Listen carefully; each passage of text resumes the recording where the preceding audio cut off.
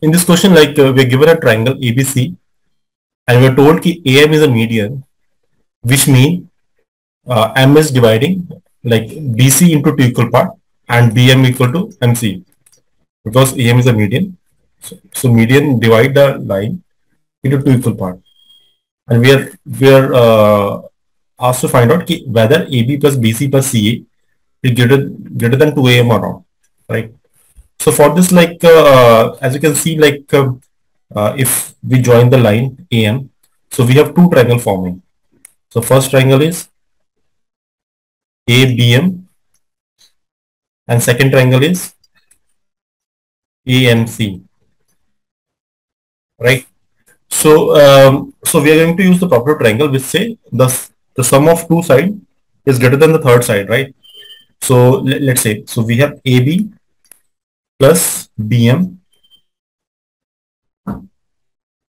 is greater than 2 AM. Sorry, AM. So AB plus BM is greater than the third side, which is AM. And likewise, for the second triangle, we have CA, right? And uh, plus uh, MC is greater than AM.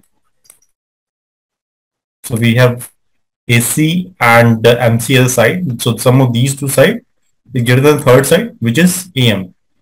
If we add these two things, so, so let's say like this is first statement, this is second statement, and uh, we're going to add these, right? So we have AB plus BM plus CA plus MC is greater than am plus am is 2am right?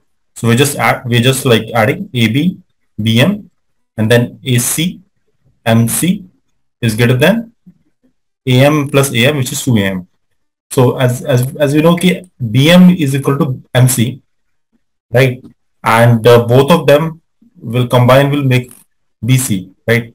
So bm and mc will make adding these two will make bc right so basically AB plus BC plus CA is greater than 2 AM. So the statement is true okay, whether AB plus BC plus CA is greater than 2 AM. So we have proved from the property of triangle which say ki sum of the side two side is always greater than the third side.